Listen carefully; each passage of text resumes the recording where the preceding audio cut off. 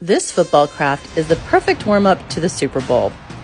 We started with a paper plate and cut it into a football shape and then added some holes for the lacing.